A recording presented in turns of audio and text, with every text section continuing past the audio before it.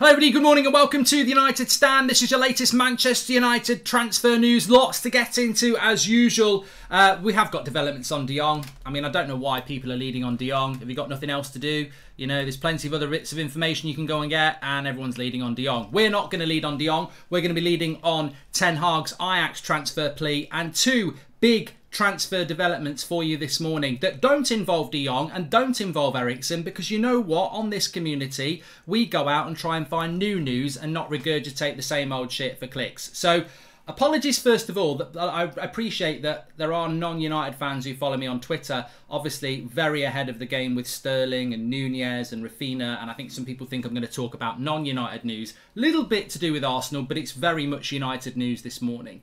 Um, okay, so let's fly straight into it. First thing I want to say is that um, two big developments here. Very well, I would say, yeah, very good information on both. First bit information relates to the thumbnail, which is Ajax plea. It does it does impact on Arsenal a little bit, but it's mainly Manchester United news.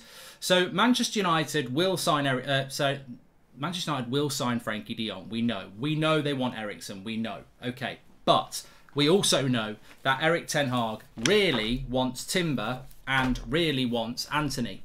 Now, Arsenal are pushing very hard for Lisandro Martinez. They are bidding and they are trying to get that deal done. The information coming from Ajax is very good. There's no reason to disagree with a Mike Verweij or someone like that. Ajax, Arsenal, Lisandro Martinez, Ajax want big money and they don't want to sell any other players. Manchester United and Erik Ten Hag want Antony and Timber. Now, whether they're going to get both of those, probably far fetched.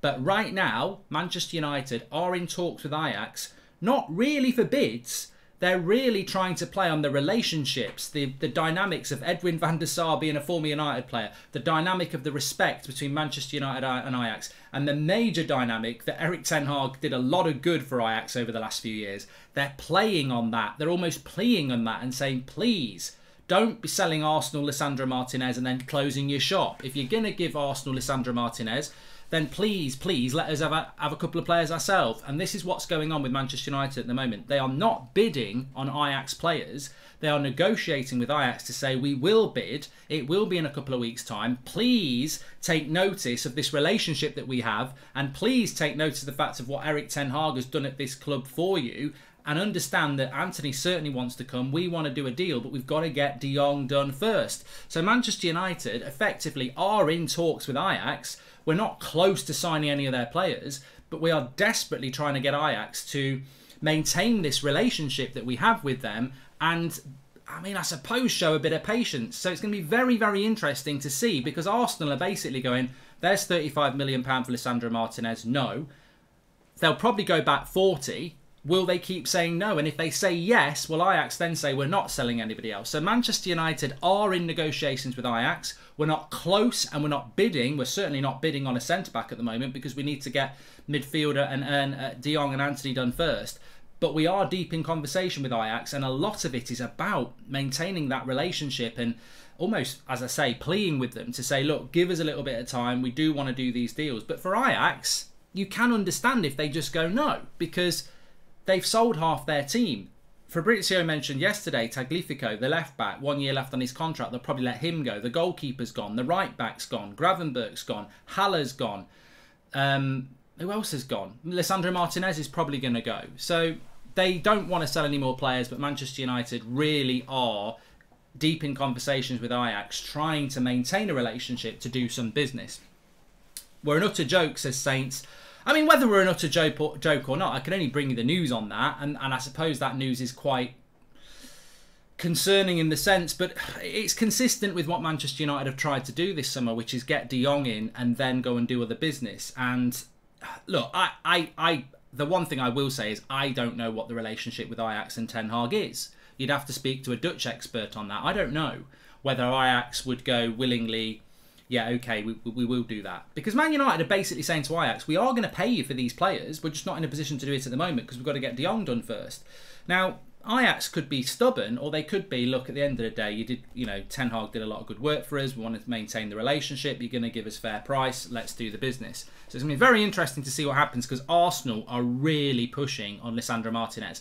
And like really pushing hard and they will they will go in with another fee as well. So interesting to see what happens with that. We need de jong or we're not even going to get conference league this season says nazar so the second bit of information for you um, and if you didn't like the last one which i mean look i don't i don't mind the last update. It's you know i suppose it's logical in a sense.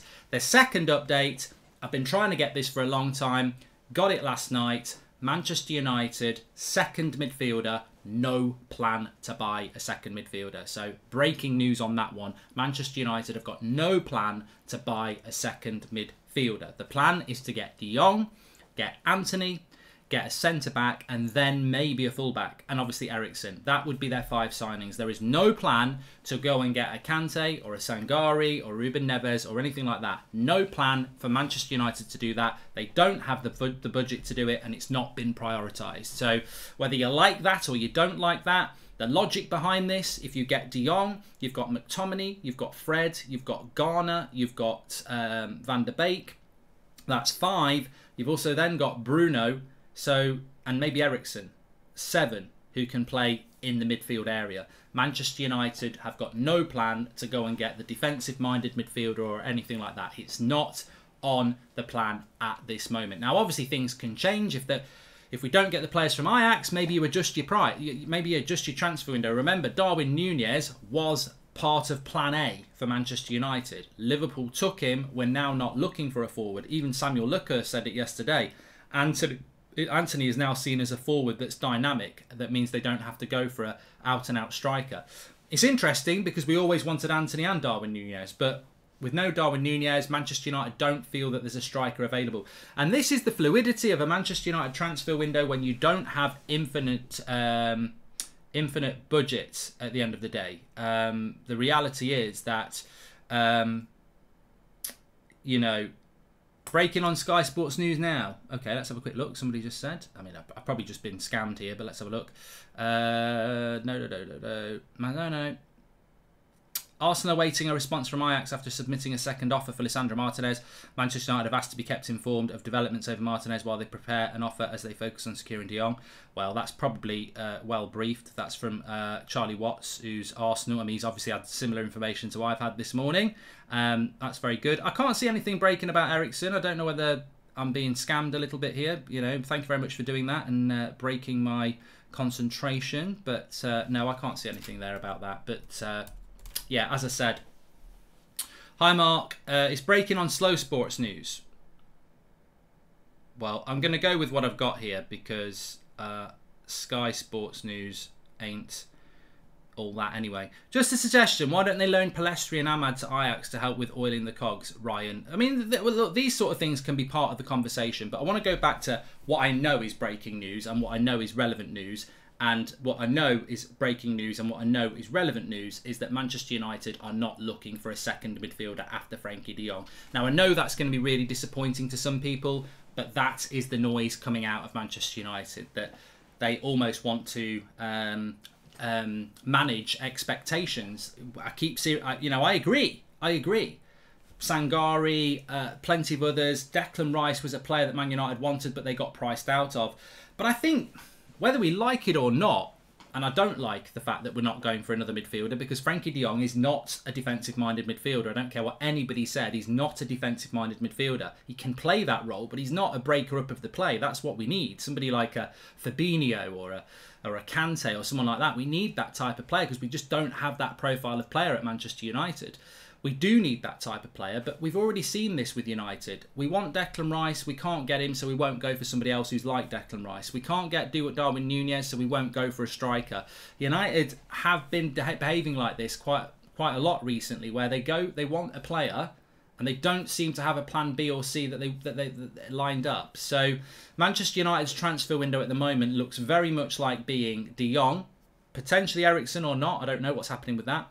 De Jong, Eriksen, Antony, a centre back, maybe a full back, and that would be their transfer window. There is no plan to go for a defensive minded midfielder, and that is not just on the club, that is on Ten Hag as well. And what we've got to remember is we can't we we, we were never going to be able to solve every problem in one summer. I think if you gave Erik Ten Hag an unlimited budget, you'd get a right back, a left back, a centre back, two midfielders, a right winger, a striker, maybe a goalkeeper. You know, there's loads of things he'd do. He doesn't have that budget, but I am surprised that we haven't prioritised um, a defensive minded midfielder, and, and, we're not going to. As of today, we're not going to. As of the last few weeks, it's not on the priority list. Mike, I know it's joked about, but Donny is basically like a new midfielder, so I'm not upset we're not buying another means we can buy in other areas, says Adam. Well, that is the hope, Adam, but, you know, as much as I like Donny, he ain't Kante, he ain't Fabinho, he ain't Rodri, he ain't that sort of midfielder, and we don't have someone like that. I don't get this board. If we want Ajax players, get bidding now and stop messing about, says Dazu. Mark came here for positive news, but no positive news as such. Not your fault. The club is a shambles, says Jay. Well, I can give you some positive news, Jay. I just didn't want to dwell on the most boring story of the summer transfer window, but I can give you that. Manchester United will pay close to 80 million. So, you know, Jay moans, and I give him a bit of positivity. Manchester United will pay close to 80 million euros for fee for Frenkie De Jong. Negotiations for bonuses and the defen- uh, definitive agreement is being cleared up so that De Jong can end up at Old Trafford this summer. So that's coming in from Sport, who are very close to Barcelona via Sport Witness.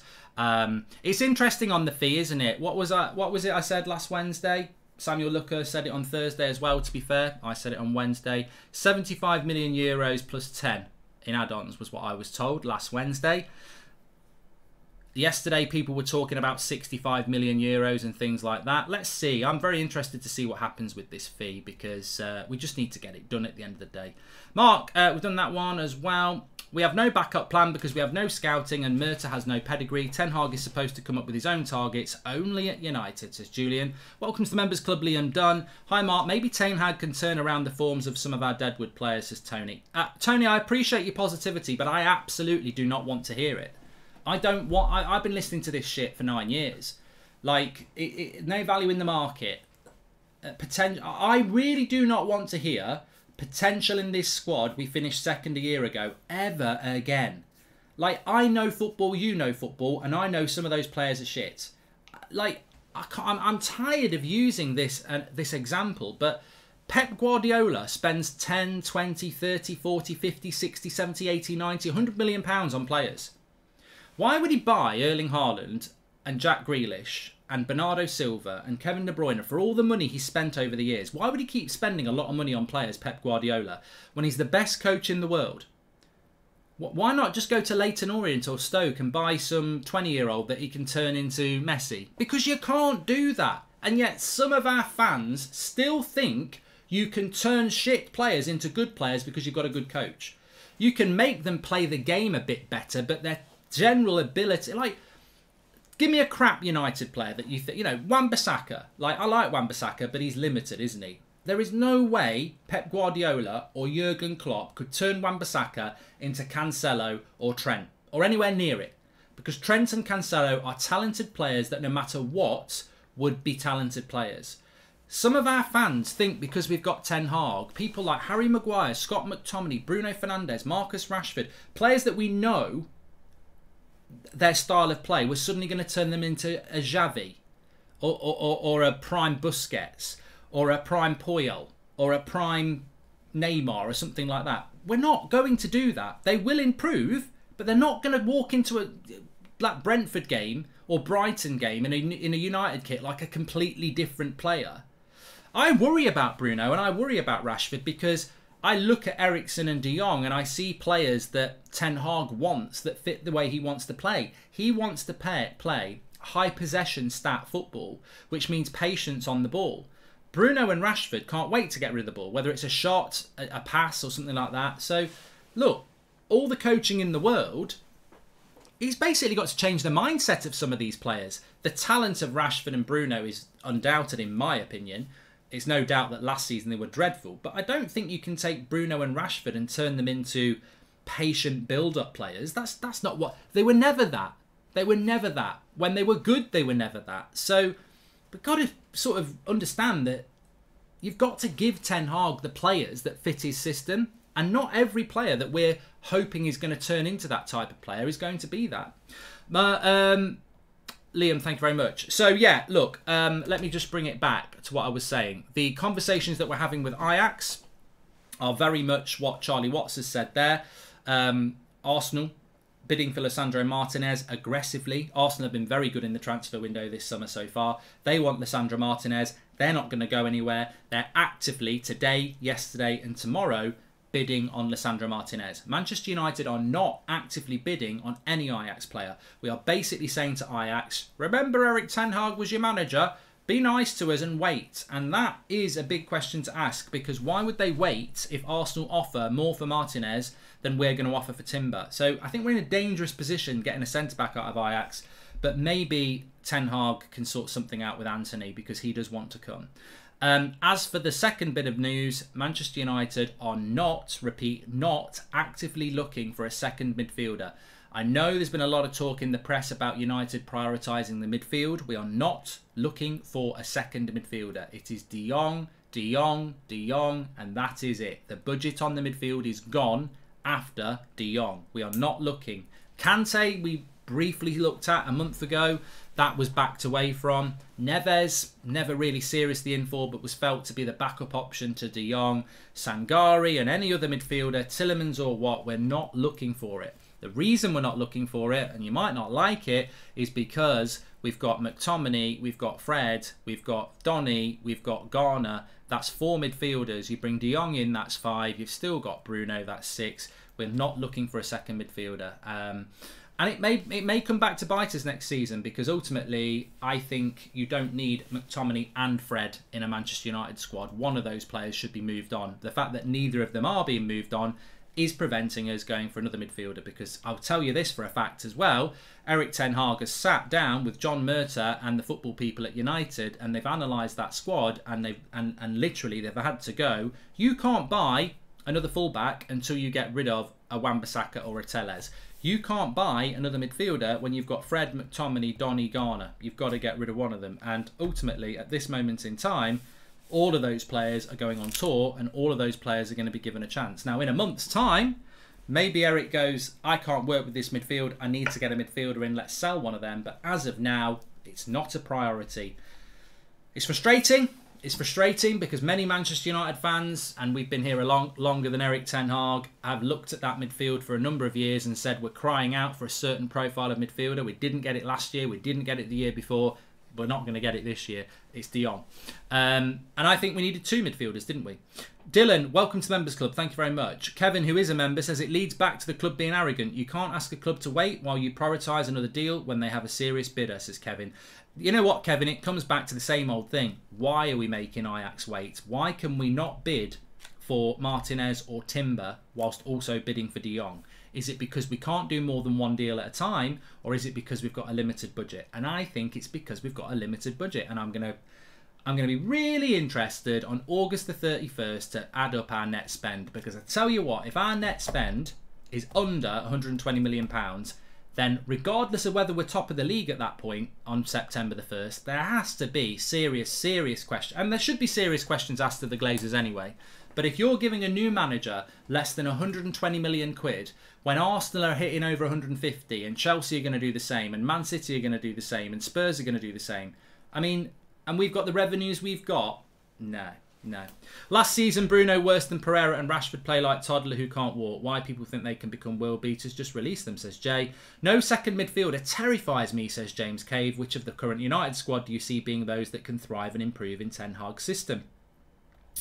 I'll come back to that, James, because it was a topic I wanted to talk about, but I do just want to go through some of the uh, news as well. Obviously, I've given you two bits of news there. I just want to go through some other bits for you. Uh, some of it is coming in from sport. Let's just have a look. With De Jong giving his approval, the deal can advance faster from now on. Man United are hoping to have the player for their pre-season tour. Frankie sees ready for a change of scenery and heading to Manchester United. Uh, Frankie has uh, accepted to leave Barcelona if there is an agreement that satisfies all parties. His stance is valued as positive, so it could be considered the agreement may be close. As I said before, Manchester United will pay 80 million fee. Frankie de Jong This is coming from Sport.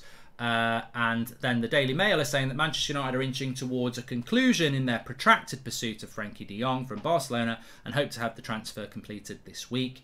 Um, and then finally, just if you're interested, Manchester United have ended their pursuit of Watford goalkeeper Daniel Bachmann as they were unwilling to pay what the championship side wanted, which I think actually will please quite a lot of people because, I mean, at the end of the day, why are we loaning out a backup keeper to buy a backup keeper, but you know that is a little bit weird. Um, just on Frankie De Jong, um, I think that in relation to Frankie De Jong, um, uh, you know, there's nothing really to add on Frankie De Jong. Like, I think everybody knows it's going to happen this week. I pers- purposely haven't really led on Frankie De Jong today because there's nothing to add. I've I've heard people saying things like Manchester United.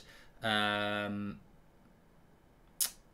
Manchester United are, uh, you know, working on personal terms. They they were sorted at the weekend. They were sorted out late last week. So this is just about. Look, I, am not convinced about negotiating the fee. I'm not, not not convinced about negotiating personal terms. Um, this deal is always about Barcelona. I guarantee this deal will be announced when Barcelona want it to be announced. And at the moment, Barcelona haven't signed anybody, so I don't necessarily think today's going to be the day with Frenkie De Jong. But um, I don't think anybody knows when the, when the day is going to be. Um, uh, just I'm just looking here. Man United players all in by 9 a.m. this morning in a throwback to the Ferguson days. Look again. Look, I, I know everybody's very excited about Manchester United and Ten Hag training the team, and look, we've got to back Erik Ten Hag. I 100% believe believe in that. Um, you know, I wanted this manager, and I'm, I'm very excited about it. But I'm not going to get excited about shower shit players last year who basically down tools for the fans and couldn't even be asked to run around, turning up for a couple of days at nine o'clock. Like these players are not going to have a problem putting their smile on their face and running around hard in pre-season. It's when the season starts and they're on the bench. That's when these players. I am not taking any notice of any United player turning up on time, smiling, looking good in training, doing well in pre-season. I'm not taking any notice of it at all. And do you want to know why I'm not going to take any any notice about it? Because that's not where it went wrong last season either. Last season, pre-season under Solskjaer, they were all smiling. It's when they're dropped that's when these players start to stab the manager in the back. So I'm encouraged and excited about the Erik Ten Hag era. I'm not encouraged and excited by these players because they've let us down. And, and, and, and I say that collectively because they've all let us down in their own way bar one or two. Um, i want to see some new players. That's what I want to see. I want to see some new players because you can't just put a new manager in charge of that lot. That we need some new players to come into United, and it needs to happen sooner rather than later. Um, and yeah, I, am very realistic and I'm very eyes open to what United are doing. Um, look at Sky Sports. They are saying the fee for De Jong. I'm not looking at like like, like Sky Sports Mark Turner because um, they are not very good when it comes to Manchester United. They are not very good when it comes to transfers.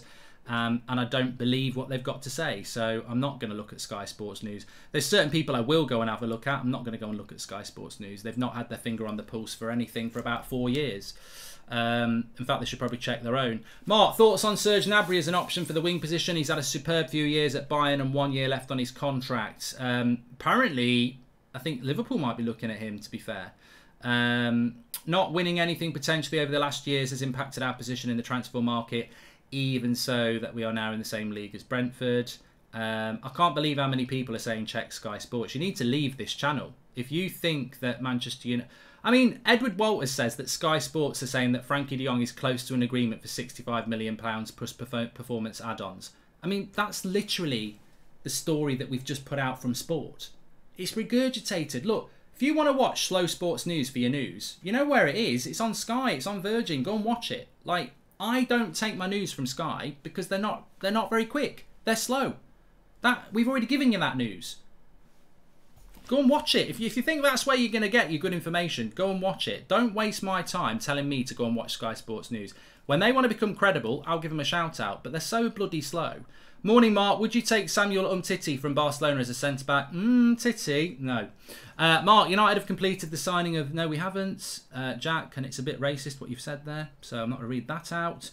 Um, well said, Mark. Thank you very much. The Golf Diaries. No, I, I'm just very, very, very, very, very insistent that on a news show, which we do every day, you build up a knowledge of who's credible and who's not. And I'm not bloody interrupting a show because of Sky Sports. Like I, have never, I haven't done that for three years. Three years ago, they were really good on Wan-Bissaka and Dan James and Harry Maguire. I think Sky Sports has fell off. I really do. I do. I think it's fell off big time. And, uh, you know, I think there are other outlets that I take notice of. Would you take Ndidi for a swap uh, plus cash, says Connor. Um, well, I, I, think you're just, um, I think you're just throwing up news at the moment. That's uh, that, uh, not news. I think you're just throwing up an opinion that doesn't really uh, make any uh, sense as things stand. One thing I would say, very interestingly, because I have had a lot of information which has been proved right about other clubs this summer. So I was told about Sterling to Chelsea way before anybody else, and people were like, "What you want about?" And now it's happening. I was told about Nunez to Liverpool on the Champions League eve when everyone thought he was coming to United. Proven right. I was told about Raphinha to Arsenal before anybody else, and I think I'll get proven right on that. Lenglet to Spurs. I haven't been told. I didn't break this story. I haven't broken any story really, to be honest. But I, I mean, I have had information soon. But Lenglet to Spurs is quite interesting. That's gathering some pace because Lenglet to Spurs is gathering some pace. But it's interesting because remember we spoke to uh, yesterday on the show to Fabrizio Romano. Pau Torres is still very much an option, and Pau Torres has always been an option for Manchester United. Now, if Pau Torres is not going to Spurs, Mark, look, Chelsea have gone a bit quiet on him, but I, I, I think I think at least there's still an option there with Pau Torres. We've got to buy a centre back. We've got to buy a centre back, haven't we? That's that's that's without doubt that that has to be hap- that has to happen this summer transfer window. Um, a lot of people saying when do you think that we will sign um, when do you think we'll sign Frankie de Jong? Um, well, look, I've just had a look at this now. Okay, so look, don't ever say I don't check other things. So people were saying, can you check Sky Mark breaking news? I can't believe you watch the United stand and you're asking me to check this. Like, what do you do? Do you listen like this? Like, you know what the breaking news story is from Sky? Get ready for this one. You know, you might fall off your chair with this stunningly breaking news. Manchester United and Barcelona have, have, have, a broad agreement on the fee for Frankie de Jong, believed to be 65 million plus performances related add-ons. Oh my god. Slow Sports News, yellow tie, crunchy nut cornflakes, Audi driver. I've got this breaking news from a carrier pigeon. Like, I can't believe you're asking me to check that. I'm sorry, I think as a community and as a fan base, we can find the information out better than that. That is a joke. Manchester United have a broad agreement. Well, a broad agreement means it could be somewhere in this figure on the fee for Frankie de Jong, believed to be 65 million plus performance related add-ons. Fabrizio Romano on this show yesterday said 65 million euros. Like he literally said that on the show yesterday and he wasn't the only person who said that. He said 65 million euros and then they've got to discuss whether there's any add-ons. And that's breaking news a day later and some of you prats are telling me to bring it into the news show. We literally had somebody on the show 24 hours ago telling us United's next bid is going to be 65 million euros. We'll see whether it includes add-ons. Sky the next morning say, breaking news. Man United are going to offer something around 65 million euros. That's not breaking news. That is not breaking news. It was literally said yesterday by at least two other outlets. So come on. Well, I don't know what you do. Do you wake? Do you go to bed at night and then wake up with a? You know, are you R two D two? No, not R two D two. C three PO. Do you go to bed at night and press a reset button and then wake up and forget everything you've learned? Like that's not. Look, maybe the fee is going to be around sixty five million. Maybe it is. Boss, I'm still hearing, as I said, and we can put it up on the screen here, that what Sport said, Sport have said from Barcelona Sport have said that Manchester United will pay close to 80 million fee in euros. Well, that's 15 million more than what Sky is saying. I think the reality is, I was told last Wednesday we were going to offer 75 million euros plus 10 in add-ons. 75 million euros is 64 million pounds. It's still not a bad deal. 65 million euros is about 54 million pounds. That's a bloody good deal. I think we're going to pay around 80 million euros as a package to Barcelona how that's constructed, whether it's 65 plus 15, whether it's 70 plus 10, whether it's 75 plus 5 or 10, I'm intrigued to know what we pay. I'm not massively concerned as long as we don't pay 100 million euros, but I am interested to see what we're going to pay because we've we've been working on this deal for 2 months, but we'll get the player. Could Donny and De Jong be two in the midfield and work together there? Both intelligent, smart players and could read the play, says Barry. Look, I'll be absolutely honest with you, Barry, now, and I want to come back to this. Mark, realise all these checks so are so are from the Ollie Henderson tweet. Twitter users derailing you, says MWK. yeah, probably. Um, yeah, Barry. So could Donny and Frankie de Jong work in the midfield too? Well, remember what I said to you. One of the breaking stories for us this morning was that Manchester United are not looking for a second midfielder. I don't want to give you that news. I don't want that to be the news, but we're not looking for a second midfielder. There's no United will get De Jong, Antony, a centre back, a full back, and Eriksen, and that'll be their summer. That's what they want to do. They don't want another midfielder. I think it's wrong.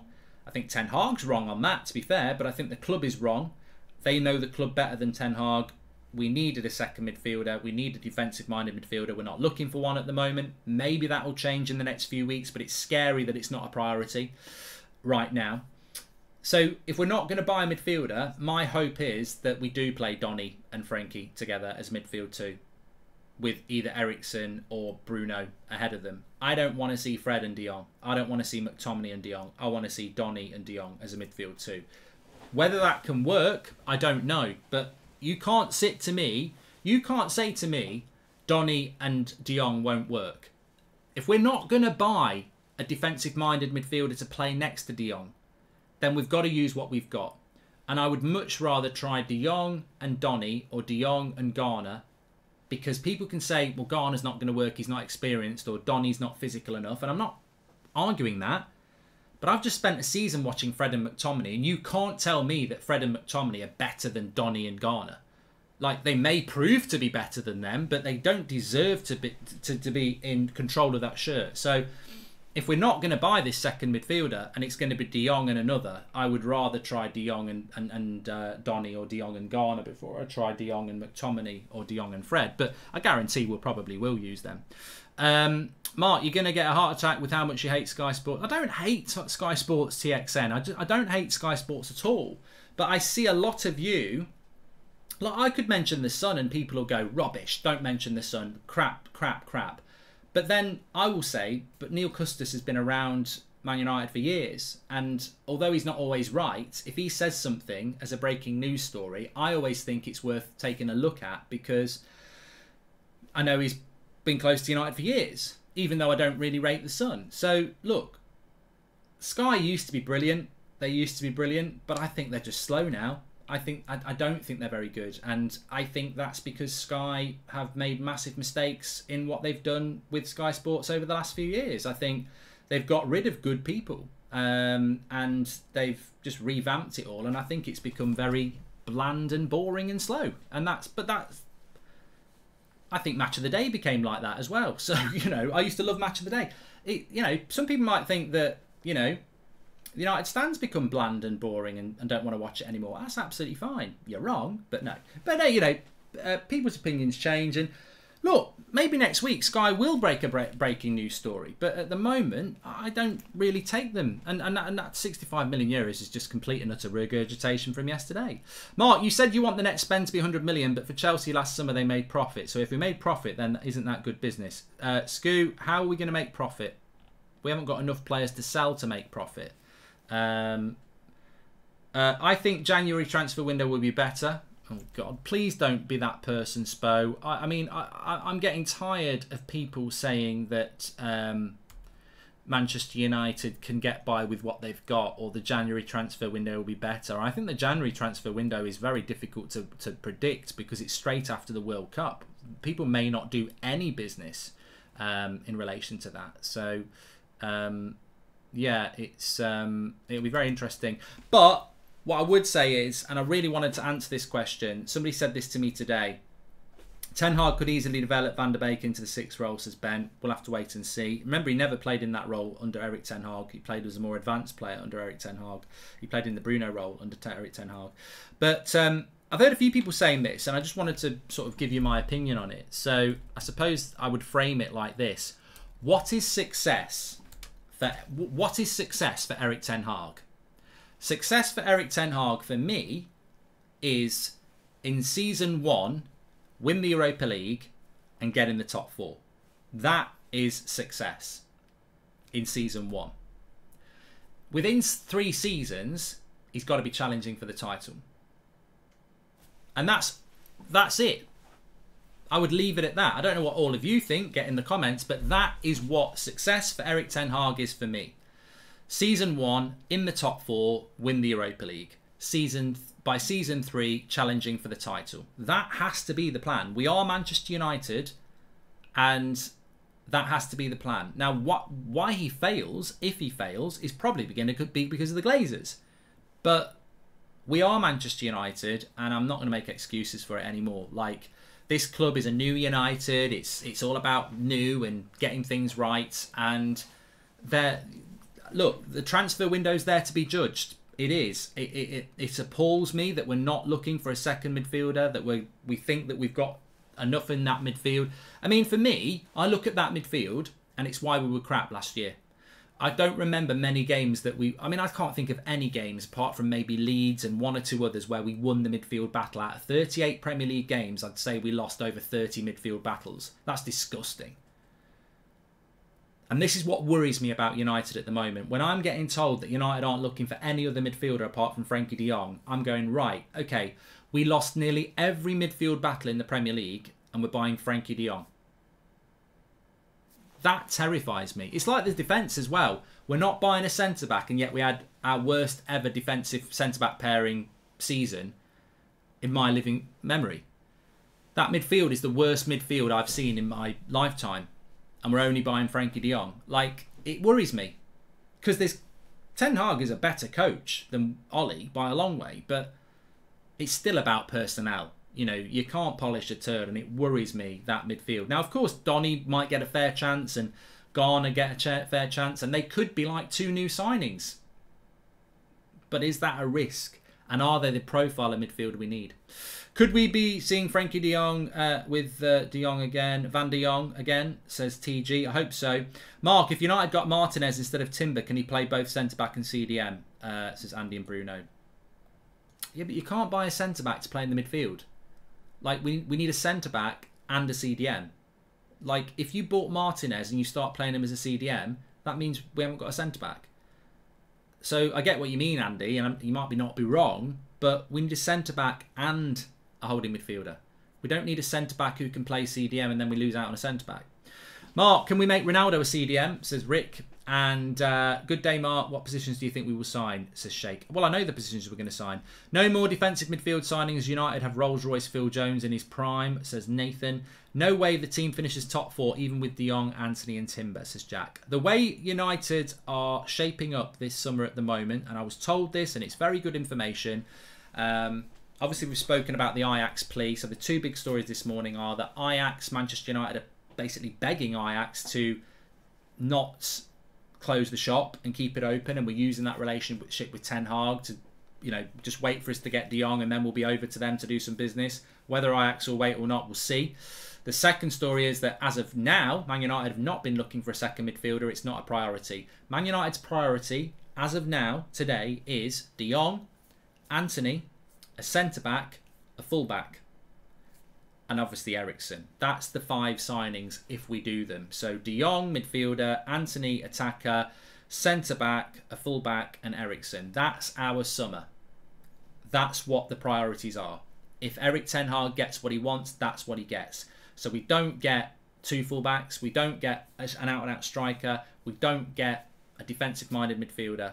We get De Jong, Antony, centre back, full back, Eriksen. And remember, that's if he gets everything he wants. We might not get Eriksen and we might not get a fullback, so we might just get three.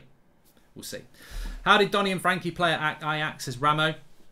Predominantly in their successful season, which was the one where they got to the Champions League semi-final, De Jong played in a midfield too, with Donny almost becoming a false nine at times because that was the year where they played Tadic as the false nine and Donny ran a lot uh, past him a lot as the number ten. So it is worth looking at, but I don't I don't see that's where he's going to use Donny. To be fair, um, Mark, who do you think needs to have a huge season this season, and who do you think will not have a good season? Says TXN. I can't predict that at the moment, but um, Bruno, Rashford, Mar- uh, not Martial because he might not stay. Bruno, Rashford, Maguire, Sancho, Fred, Shaw, Dalot, Varane, Donny. You know, there's probably 10 first teamers that need to have big seasons. I think the only two that probably get away with it are De Gea and Ronaldo because what they did last year, and you would expect them to have a good season next season as well. Uh, Bruno will improve. He's pissed off with his teammates last year and lost his focus to Stuart. Look, I think Bruno is probably the best example out of anybody. And, you know, we've seen this morning that the players are turning up at nine o'clock to train and they've got a smile on their face. But what does that mean? Ooh, they've turned up early and they're training and they're smiling. What does it mean? Doesn't mean anything. This season will be judged in October when we've played nine or ten games, we've played a few Europa League games, and people understand whether they're part of his plans or not. Everybody's got a smile on their face in pre season. Everybody thinks they've got a chance. By the end of August, when he's picking his 11 and you're on the bench, that's when people start to go, well, I'm not happy. Imagine if Bruno is benched because we get Eriksen and he's not getting in the team. Imagine what Bruno's thinking in September. Do you think he's turning up to training with a smile on his face? This is what people don't think about because they fall into the trap of positivity. Like, we can't make everybody happy. Bruno is interesting because I like Bruno. But the way Bruno plays football, and Ricky's right, I, I like the way he plays football when he's playing well, but Bruno is 100 miles an hour. Gets the ball, wants to play a killer pass. That's why his pass completion rate is not as good as somebody like an Eriksen or a De Jong because he, he wants to play a pass. And when he plays that pass quick and it works, you go, he's a genius. Like, remember that pass he played in the Champions League to Ronaldo with the outside of his foot last year? Pure genius. The way Ten Hag wants to play football is he doesn't want his number 10 or his attacking midfielders to get the ball and just shoot or play a pass in the first two seconds he wants his number 10 to rotate and keep the ball in possession and probe. Now, Bruno's going to have to change his game completely to do that. Will he be able to change his game completely? Well, that's the test of a good footballer. Can he be developed? I think he can, but we'll have, we'll have to see a very different Bruno. And Rashford. Rashford's another one. Rashford, head down, get a shot off, run out, run at people. Doesn't normally get his head up and play a good cross. Doesn't normally pass it and move. Doesn't normally play a simple pass and want to be part of the build up, again, it's another player that's massively got to change his game. Um, and there's a few like that, so it's going to be very interesting.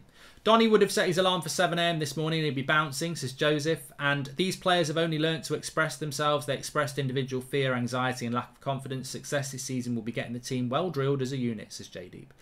If these players, the, the, the biggest thing I would say about uh, the way Erik Ten Hag trains people is that what these if these players understand that they're a cog in a machine and everybody's working for the greater good, their job will become easier. They need to let go of their individualism and realise they're part of a team. Because the way Man City play, the way Liverpool play, the way Ajax play, it's team. You're only as good as your weakest player. If somebody doesn't press right or somebody doesn't move right or pass right, you're in trouble. It's a complete reset for Manchester United we are moments FC. We were a deep, like not well, not not necessarily deep, but we were a counter-attacking side that was well organised under Solskjaer and hit teams on the break. We relied on moments of individualism. We relied on moments. Ajax, Man City, halfway line, high press, high possession, probe, probe, probe, move, pass, move, pass, score. This is what it's all about. It's all about the team. Can these Man United players I'm talking about the players from last season, come into this team this year, drop all their ego, drop all their anger, drop all their toxicity, and basically realise that that guy and that guy are my teammates, and I've got to trust them, and we've got to keep this ball, and we've got to move. And if, or are we going to see people go, well, I'll, I'll try one pass, right? I'm going to shoot from 30 yards. I'm going to try and take somebody on. It's going to be really interesting. Uh, what? Who do you reckon we will manage to ship out? Says Krish. Got no idea. Spoke about this last night. Really difficult to see who we're going to sell. Rashford to Chelsea, and Chelsea goes to Europa League, and he scores a last-minute winner in the final. We lose the cup, like career mode, says TXN. Hey, career mode's going to be good today. Hopefully, I'll win the league. Anyway, look, thanks everyone for watching. Another good show. Um, nice to get a couple of exclusives, as I said. Um, uh, we'll see what happens in non-United news, watch out Arsenal. Uh, uh, they'll be going after uh, Lisandro. Really, really interested to see if they can break Ajax's resolve there. If they do, we're in trouble. Uh, if Arsenal get Lisandro Martinez, I'd, I'd say we're, we're, going for Torres. Um, I can't see us getting Timber if we if they get Martinez. It's whether United can persuade Ajax not to do deals with Arsenal and wait for us. Uh, hi, Mark. Despite the lack of great news and all this waiting, I hope you and the fans have been keeping well, says Tristan. Very well. And of course, yeah, no no second midfielder for Man United. I don't know what your thoughts are about that. I think a lot of us feared it, and that is the case. We are not looking to bring a second midfielder in this summer. It will be De Jong, Antony, centre back, full back, Eriksen. That will be our summer. If it goes perfect, we might not get that many, but a second midfielder is not on the list for Manchester United this summer. Breaking news. It'll be on Sky in a couple of days.